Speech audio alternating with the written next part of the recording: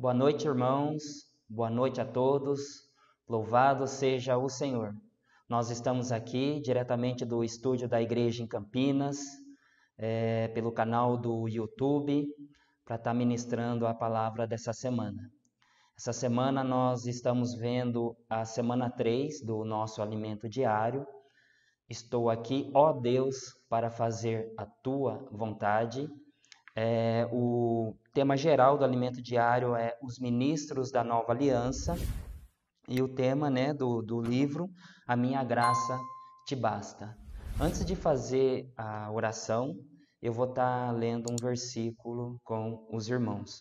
Naum, capítulo 1, versículo 3, diz assim: Ó Senhor, o Senhor é tardio em irar-se, mas grande em poder e jamais inocenta o culpado. O Senhor tem o seu caminho na tormenta e na tempestade, e as nuvens são o pó dos seus pés. Esse é um versículo que eu tenho desfrutado muito nesse período de isolamento social. Nós estamos assim em casa, as coisas estão bem difíceis, uh, muitas coisas estão acontecendo, mas aqui a palavra de Deus diz que o Senhor tem o seu caminho na tormenta e na tempestade. Nós somos gratos ao Senhor pelo o seu cuidado, pela sua proteção. Realmente, irmãos, o Senhor tem sido o nosso pastor ele tem nos apacentado, ele tem nos levado a águas de descanso, tem dado refrigério para nossa alma. Então, nós só temos um coração de agradecimento ao nosso Senhor Jesus Cristo. Eu vou estar iniciando com uma oração. Senhor Jesus, Senhor, nós somos gratos a Ti. Muito obrigado, Senhor, pela Tua palavra, pela oportunidade que o Senhor tem dado a cada um de nós em poder estar na tua presença, diante de ti, diante dos irmãos. Ó Senhor Jesus, nessa noite nos abençoa, nos abençoa com o espírito, com a vida. Também, Senhor, nós abrimos o nosso coração para ouvir a tua voz. Ó Senhor Jesus, o Senhor fala conosco, fala ao nosso interior. Ó Senhor Jesus. Então, vou estar começando aqui com Hebreus, capítulo 10, versículo 5.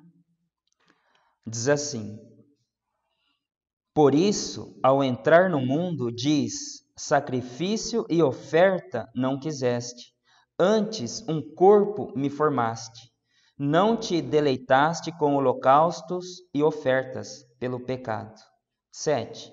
Então eu disse: Eis aqui estou, no rolo do livro está escrito a meu respeito, para fazer, ó Deus, a tua vontade. 8. Depois de dizer como acima, sacrifícios e ofertas não quiseste, nem holocaustos e oblações pelo pecado, nem com isto te deleitaste, coisas que se oferecem segundo a lei. O 9. Então acrescentou: Eis aqui estou para fazer, ó Deus, a tua vontade.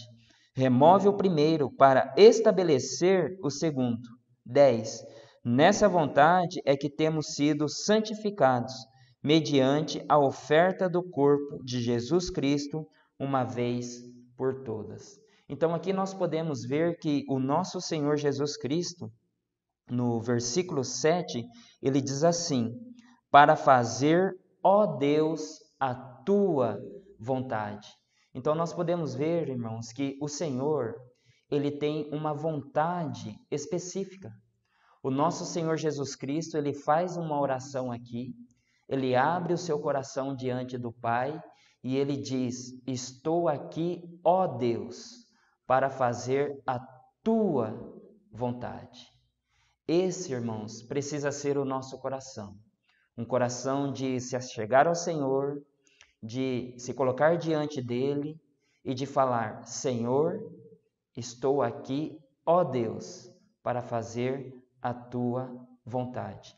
Esse trecho da palavra, é, Jesus Cristo essa vontade, na verdade, é a vontade que o Pai tinha em de oferecer o nosso Senhor Jesus Cristo como uma oferta única pelo pecado.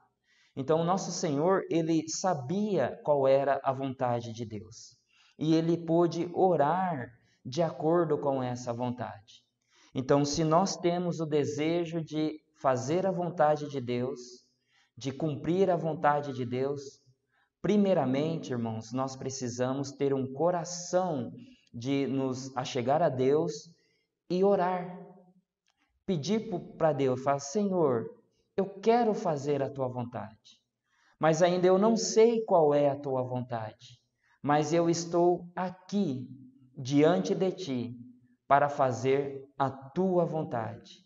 Então, primeiramente, nós precisamos saber qual é a vontade do Pai. Eu preciso conhecer a vontade de Deus. Não basta eu apenas querer fazer a vontade de Deus se eu não conheço essa vontade. Nós podemos ver aqui que Jesus Cristo, ele sabia qual era a vontade do Pai. Então, eu separei vários versículos aqui, eu vou estar compartilhando com os irmãos, e vou estar falando um pouco dessa vontade de Deus. Louvado seja o Senhor. Em Mateus, capítulo 26,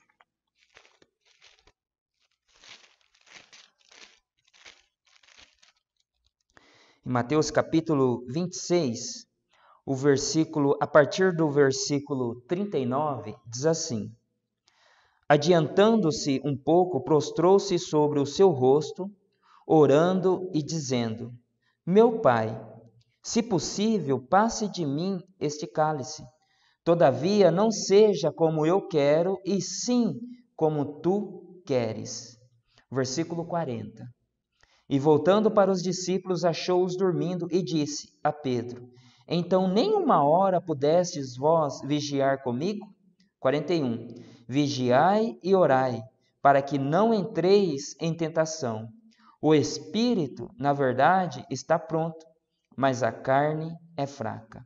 O versículo 42 complementa: Tornando a retirar-se, orou de novo, dizendo: Meu pai, se não é possível passar de mim este cálice sem que eu o beba, faça-se a tua vontade. Então nós vemos que Jesus Cristo ele estava num momento bem difícil. Ele queria recuar, ele queria retroceder. É como se ele quisesse abandonar tudo. Ele estava num momento de angústia muito profunda e ele orou. Ele orou a primeira vez, ele orou a, a segunda. Quando foi na terceira vez, qual foi a conclusão que ele teve? Que não era possível abandonar tudo, irmãos. Ele chegou à conclusão e diz assim: Faça-se a tua vontade. Então nós precisamos, irmãos, ter esse coração de se achegar ao Senhor de se abrir ao Senhor e de falar: Senhor, eu ainda não estou certo da tua vontade, mas o meu coração é de fazer a tua vontade. Faça-se a tua vontade. O interessante, irmãos, é que se nós queremos fazer a vontade de Deus, nós precisamos conhecer, nós precisamos saber qual é essa, essa vontade. Aqui em Mateus, capítulo 6, diz assim: Mateus capítulo 6, a partir do versículo 9, diz assim: Portanto, vós orareis assim: Pai nosso que estás nos céus, santificado seja o teu nome, venha o teu reino, faça-se a tua vontade assim na terra como no céu. Então nós podemos ver que Deus, ele tem uma vontade. E essa vontade, ela está sendo feita no céu. Nos céus não há nenhum problema no que diz respeito à vontade de Deus ser feita. Mas a questão, irmãos, é que aqui na terra a vontade de Deus não é feita ainda completamente. na sua totalidade. No período que o nosso Senhor Jesus Cristo estava aqui nessa terra, ele fez a vontade de Deus. Ele fez completamente a vontade do Pai. Mas, como lá em Hebreus, aqui em Mateus, ele começa com uma oração. Então, se nós temos o desejo de conhecer a vontade de Deus, de fazer essa vontade de Deus, eu preciso, irmãos, nós precisamos abrir o nosso coração. A vontade de Deus, ela é feita nos céus, mas ainda na terra ela não é feita. E a maneira de nós trazermos essa vontade de Deus para a terra é nós nos colocar diante de Deus e orar. Louvado seja o Senhor por isso. Em João, o Evangelho de João, o capítulo. Deixa eu ver aqui. 7. João capítulo 7, o versículo 14, diz assim: Corria já em meio à festa e Jesus subiu ao templo e ensinava. 15. Então os judeus se maravilhavam se maravilhavam e diziam: Como sabe este letras sem ter estudado? 16. Respondeu-lhe Jesus: O meu ensino não é meu, e sim daquele que me enviou. Versículo 17. Se alguém quiser fazer a vontade dele, conhecerá a respeito da doutrina se ela é de Deus ou se eu falo por mim mesmo. Então Jesus Cristo ele fala claramente para nós: se eu tenho desejo de fazer a vontade dele, ou seja, de fazer a vontade de Deus, eu preciso conhecer a respeito da doutrina, ou melhor traduzindo, né, a respeito do ensinamento.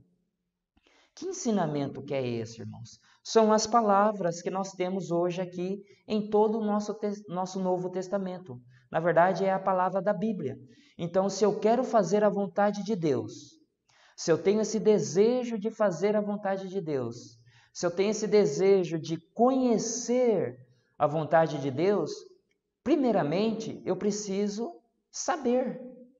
Eu preciso conhecer essa vontade.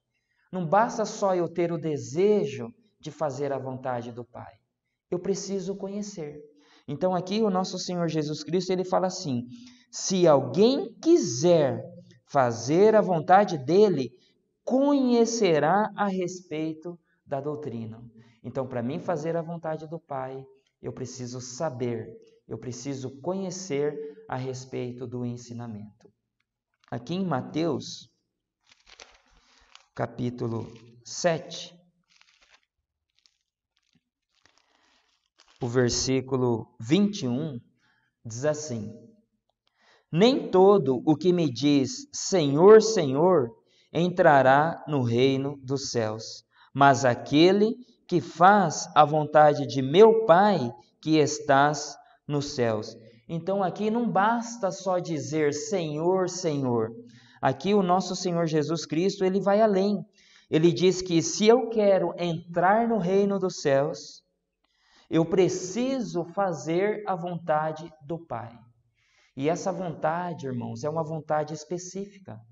Aqui no versículo 22, continuando, ele diz assim: Muitos naquele dia hão de dizer-me: Senhor, Senhor, Porventura não temos nós profetizado em teu nome, e em teu nome não expelimos muitos demônios, e em teu nome não fizemos muitos milagres? Então lhes direi explicitamente: Nunca vos conheci. Apartai-vos de mim, os que praticais a iniquidade.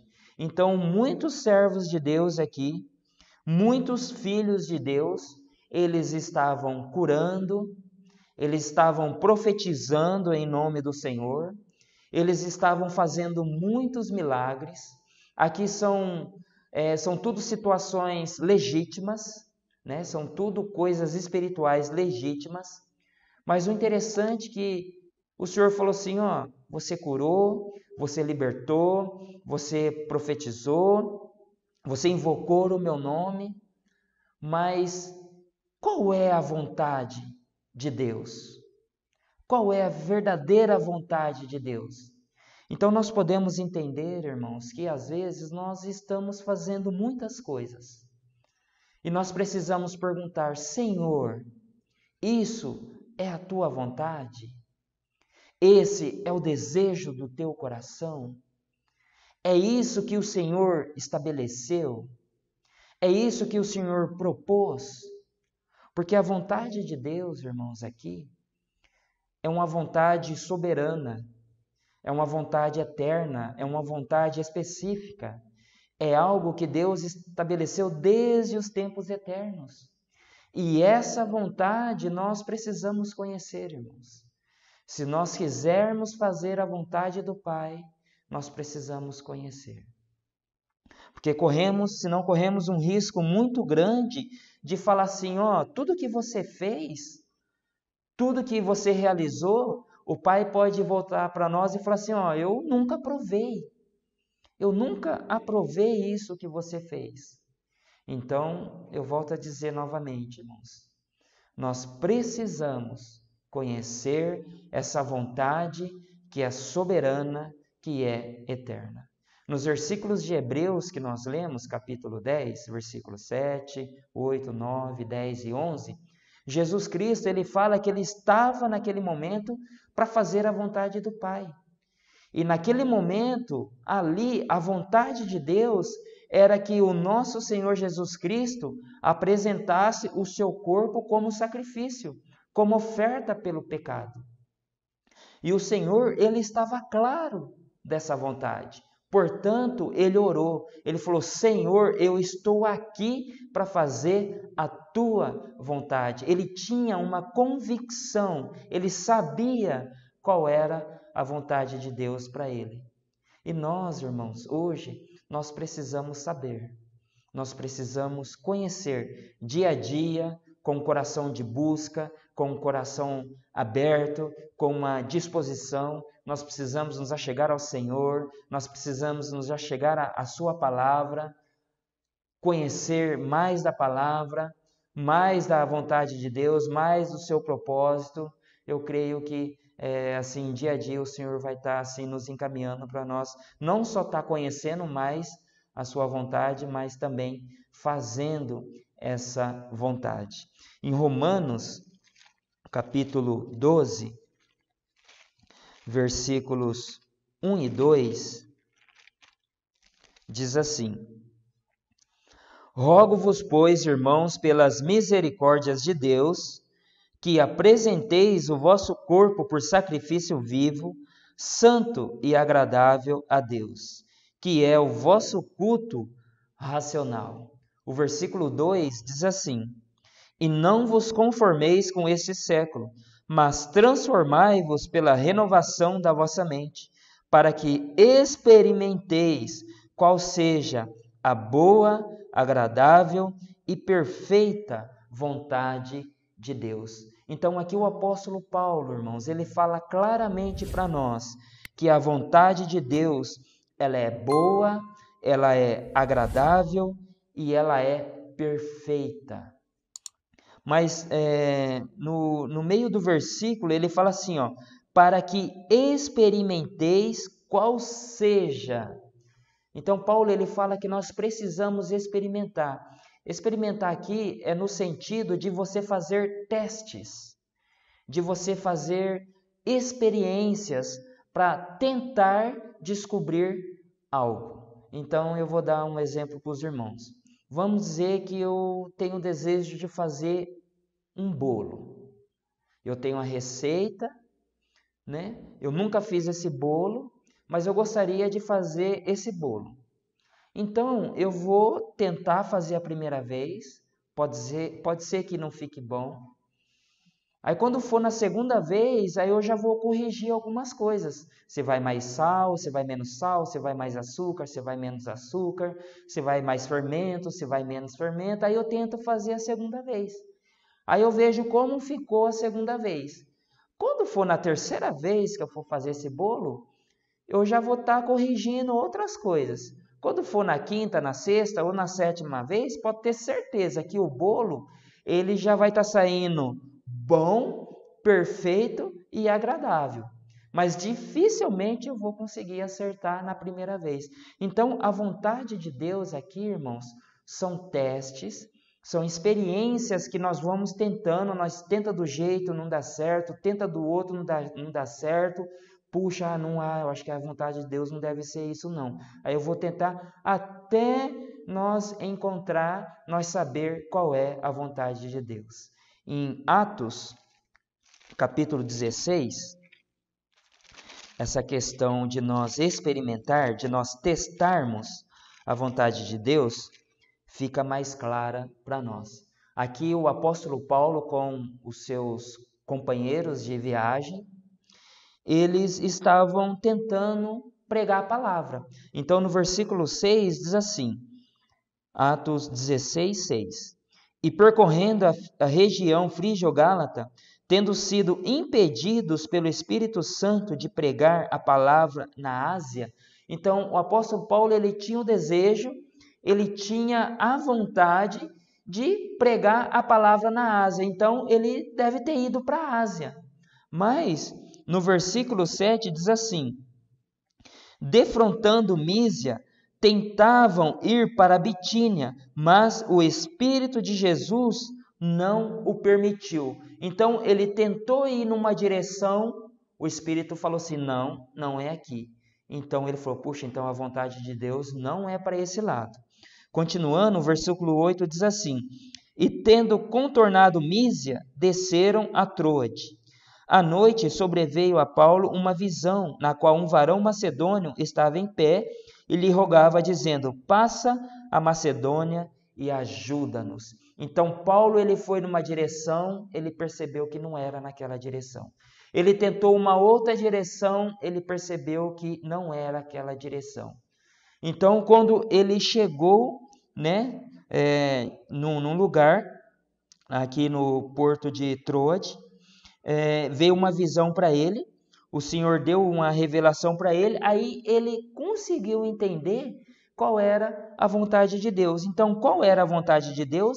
É que ele fosse adiante até a Macedônia. Então, irmãos, é, a vontade de Deus ela é boa, ela é perfeita e ela é agradável. Talvez de primeiro momento, de início, nós não vamos ter muita clareza do que seja a vontade de Deus mas nós precisamos tentar, nós precisamos experimentar. Talvez no primeiro momento não vai dar certo, talvez no outro momento nós não vamos conseguir, mas vai chegar um momento que o Senhor vai revelar para nós qual é a vontade dele.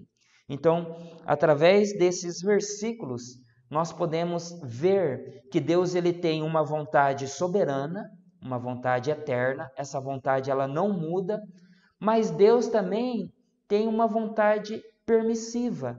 Então, muitas coisas também o Senhor permite, mas não é a sua vontade soberana. Então, nós precisamos ter clareza também, nós precisamos ter discernimento de saber quando é a vontade soberana e quando é a vontade permissiva de Deus. Louvado seja o Senhor por isso. Vamos lá para Efésios, capítulo 1, versículo 5.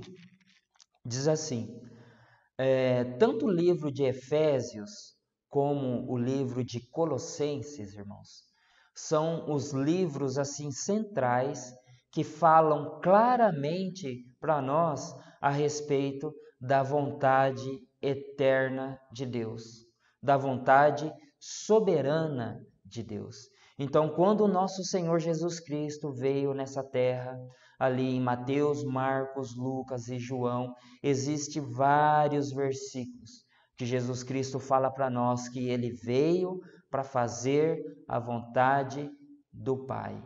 E aqui em Efésios, o versículo 5 diz assim: no capítulo 1, versículo 5: Nos predestinou para ele, para a filiação, por meio de Jesus Cristo, segundo o beneplácito de sua vontade. Então aqui Paulo ele usa um termo, ele fala beneplácito de sua vontade, ou seja, o bom prazer de sua vontade. Então Deus, irmãos, ele tem uma vontade.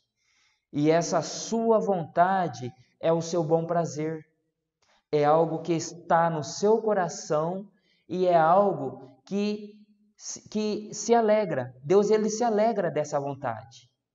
No versículo 9, continuando, ele diz assim: Desvendando-nos o mistério da sua vontade, segundo o seu beneplácito que propusera em Cristo. Então, Paulo, no versículo 5, ele fala que Deus ele tem uma vontade. Essa vontade é o seu bom prazer só que no versículo 9 ele fala assim, ó, desvendando-nos. Então o desejo do coração do Senhor, o desejo do coração de Deus é de revelar essa vontade para nós, é de desvendar essa vontade para nós, é de descobrir, descortinar essa vontade para nós. Então, por um lado, essa vontade, ela está no coração de Deus ela está oculta, é algo que ninguém sabe. Mas a partir do capítulo 1 aqui de Efésios, o apóstolo Paulo, ele fala que essa vontade de Deus, que é o seu bom prazer, que é um mistério, ele começa desvendar para nós. Continuando, o versículo 10 diz assim: de fazer convergir nele na dispensação da plenitude dos tempos todas as coisas, tanto as do céu como as da terra. 11. Nele digo, no qual fomos também feitos herança, predestinados segundo segundo o propósito daquele que faz todas as coisas conforme o conselho da sua vontade. Então Deus ele tem uma vontade. Essa vontade ela é soberana, essa vontade é eterna, essa vontade não muda. Embora, irmãos, nós estamos passando por uma situação muito difícil, as circunstâncias não estão fáceis. Nós estamos vivendo um período de isolamento social por conta do coronavírus, né? Nós sabemos que está tendo muitos casos de contaminação, temos muitos casos também de pessoas que foram já curadas, já sararam. Também temos muitos casos de irmãos, de filhos de Deus que partiram para estar com o Senhor por conta do coronavírus. Nós é, temos os nossos, deixamos os nossos sentimentos, nós lamentamos muito por isso. Mas uma coisa, irmãos, nós precisamos saber: Deus, ele tem uma vontade. E essa vontade de Deus, ela é soberana. Ela não muda. E é algo que é o seu bom prazer. O versículo 17, continuando, diz assim: Efésios 1, 17 para que o Deus de nosso Senhor Jesus Cristo, Pai da glória, vos conceda espírito de sabedoria e revelação no pleno conhecimento dele. Versículo 18. Iluminados os olhos do vosso coração, para saberdes qual é a esperança do seu chamamento, qual a riqueza da glória da sua herança nos santos. Então, por um lado, Deus ele está desvendando essa vontade para nós. Mas por um outro, irmãos, o apóstolo Paulo, ele diz que o Senhor precisa conceder para nós espírito de sabedoria e de revelação. No nosso espírito, no nosso interior, o Senhor precisa dar revelação para nós. O Senhor precisa revelar a respeito dessa vontade, que na verdade essa vontade ela é um grande mistério. Mistério é algo oculto, é algo que está escondido, é algo que ninguém sabe, mas o apóstolo Paulo fala que nós precisamos ter a revelação desse mistério. E ele fala também no versículo 18 que iluminados os olhos do vosso coração, para saberdes. Então, por um lado, Deus precisa nos dar revelação dessa vontade, mas por um outro lado, irmãos, nós precisamos ter os nossos olhos, os olhos do nosso coração iluminados, ou seja, o nosso entendimento, a nossa mente precisa ter uma compreensão dessa vontade. Então, por um lado, nós temos revelação no nosso espírito, e por outro lado, nós precisamos ter entendimento na nossa mente, porque senão nós não vamos ter muita clareza da vontade do Senhor. O apóstolo Paulo, ele em Atos 16, ele estava tentando ir para um lado, estava tentando ir para o outro, mas chegou um momento que ele teve um entendimento. Ele teve uma compreensão de qual era a vontade de Deus naquele momento para ele. E nós hoje, irmãos, não é diferente. Nós precisamos orar, Senhor, conceda-me, Senhor, espírito de sabedoria e de revelação. Senhor, ilumina os olhos do meu coração para me saber qual é a tua vontade. Prosseguindo em Efésios, capítulo 3, ele dá mais detalhes a respeito dessa vontade. Efésios capítulo 3, versículo 1 diz assim: Por esta causa eu, Paulo, sou prisioneiro de Cristo Jesus por amor de vós, gentios. Versículo 2. Se é que tendes ouvido a respeito da dispensação da graça de Deus, a mim confiada para vós outros. Versículo 3. Pois segundo uma revelação me foi dado conhecer o mistério, conforme escrevi há pouco resumidamente. Olha só, irmãos. Pois segundo uma revelação me foi dado conhecer o mistério. Então, que mistério que é esse? Se nós voltarmos para o capítulo 1, lá ele fala mistério da sua vontade. Então nós vemos novamente que a vontade de Deus, irmãos, ela é um grande mistério. Mas aqui no versículo 3, do capítulo 3, o apóstolo Paulo fala que, segundo uma revelação, foi dado a ele conhecer esse mistério. E ele fala assim, ó, conforme escrevi há pouco, resumidamente. Ou seja, ele está se referindo ao que ele escreveu no capítulo 1. Então, no capítulo 3, ele começa a dar mais detalhes dessa vontade, dessa revelação desse mistério. O versículo 4 ele diz assim: Pelo que quando ledes, podeis compreender o meu discernimento do mistério de Cristo. Então aqui ele vai além. Ele fala assim, ó, mistério da sua vontade, ele fala do mistério, depois no versículo 4 ele fala do discernimento do mistério de Cristo. Então, essa vontade, irmãos, que é soberana, que é eterna, essa vontade que estava oculta, que é o bom prazer de Deus, essa vontade ela diz respeito a quem? A Cristo. Então, quando eu disse que nós precisamos conhecer a vontade de Deus, irmãos, quando nosso Senhor Jesus Cristo, no capítulo 10 de Hebreus, ele falou: Estou aqui, ó Deus, para fazer a tua vontade. Na verdade, ele estava se referindo a ele mesmo. Então, a vontade de Deus, ele fala aqui, ó, o meu discernimento, versículo 4, do mistério de Cristo. Então, ele está se referindo a Cristo. Mas, por um outro lado, aqui ele fala do mistério de Cristo. Então, Cristo também, ele tem algo que está oculto, é algo que é misterioso. Continuando, ele fala assim, ó, o versículo é, 8, diz assim, A mim, o menor de todos os santos, me foi dada esta graça de pregar aos gentios o evangelho das insondáveis riquezas de Cristo e manifestar qual seja a dispensação do mistério desde os séculos oculto em Deus que criou todas as coisas. O versículo 10, olha só, irmãos. Para que pela igreja a multiforme sabedoria de Deus se torne conhecida agora dos principados e potestades nos lugares celestiais. Então, resumindo, ele fala da vontade, ele fala do mistério da vontade, ele fala do desvendar desse mistério. Aqui no capítulo 3, ele fala que foi dado a conhecer a revelação, ele fala do discernimento. Aí depois, irmãos, indiretamente, no versículo 10, ele fala: que mistério que é esse? Que vontade que é essa? Ele fala aqui, ó, o 10, para que pela igreja. Então a vontade de Deus, irmãos, o bom prazer de Deus, o que estava oculto, o que estava escondido dos séculos, das gerações, algo que ninguém sabia o que era, diz respeito a quê? A Cristo e à igreja. Então, quando eu falo que nós precisamos conhecer a vontade de Deus, irmãos, que é soberana, que é eterna, eu estou me referindo à igreja.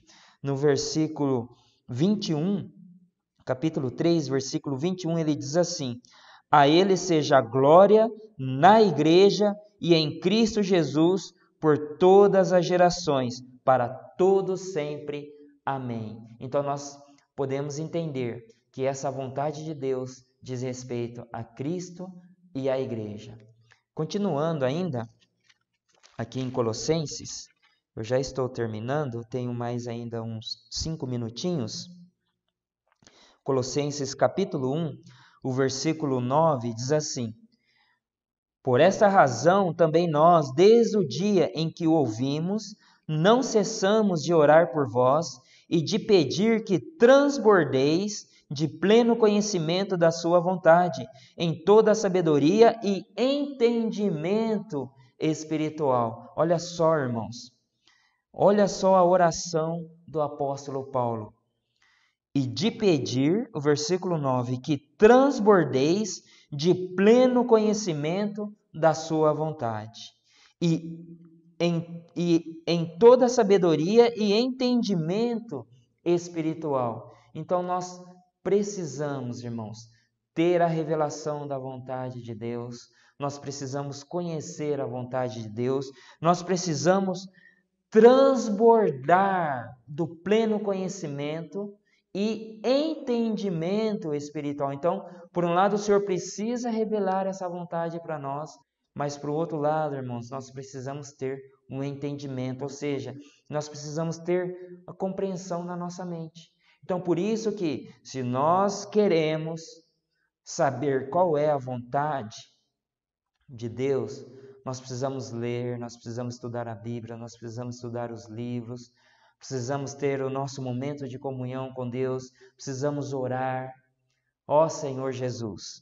O versículo 25, Colossenses 1, 25 diz assim: 24. Começar no 24. Agora me regozijo nos meus sofrimentos por vós e preencho o que resta das aflições de Cristo na minha carne, a favor do seu corpo, que é a Igreja. 25.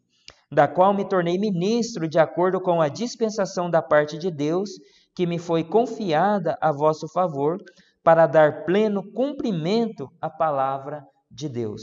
O versículo 26 diz assim: O mistério que estiver oculto dos séculos e das gerações. Agora, todavia, se manifestou aos seus santos. Então, novamente, o apóstolo Paulo, irmãos, ele fala do mistério que estava oculto dos séculos e das gerações. O versículo 27 diz assim: Aos quais Deus quis dar a conhecer então, lá em Efésios, Paulo ele fala desvendando o mistério da sua vontade. Aqui fala que Deus quis dar a conhecer. Então, o desejo de Deus, irmãos, é revelar qual é essa vontade, qual é a sua vontade. Ele fala assim, ó, aos quais Deus quis dar a conhecer qual seja a riqueza da glória desse mistério entre os gentios, isto é, Cristo em vós, a esperança da glória. Então, em Efésio, nós vemos que a vontade de Deus está voltada para a igreja. E aqui em Colossenses, a vontade de Deus, o mistério que estava oculto, está se referindo a Cristo. Então, qual é a vontade de Deus, irmãos? É Cristo e a igreja. No capítulo 2, o versículo 1, ele diz assim: Gostaria, pois, que soubesseis que com grande luta venho mantendo por vós, pelos laudicenses e por quantos não me viram face a face. 2. Para que o coração deles seja confortado e vinculado juntamente em amor, e eles tenham toda a riqueza da forte convicção. Olha só, irmãos. É, e eles tenham toda a riqueza da forte convicção do entendimento para compreenderem plenamente o mistério de Deus, Cristo. Então ele fala que nós precisamos tá, ser confortado, ser vinculado, nós precisamos ter, a, a, ter toda a riqueza da forte convicção do entendimento para compreender plenamente o mistério de Deus, Cristo. Então, o mistério que estava oculto dos séculos, das gerações, está se referindo a quem? A Cristo. O versículo 3 ele fala assim, ó: Em quem todos os tesouros da sabedoria e do conhecimento estão ocultos. Então nós podemos ver, irmãos, que a vontade eterna de Deus, essa vontade que é soberana, ela diz respeito a Cristo e à igreja. Então, quando o nosso Senhor Jesus Cristo, no capítulo 10 de Hebreus, ele fala que ele estava ali para fazer a vontade de Deus, ele sabia, irmãos, qual era essa vontade. E para nós hoje, Deus ele tem revelado, ele tem manifestado, ele tem mostrado, ele tem desvendado essa vontade. Louvado seja o Senhor.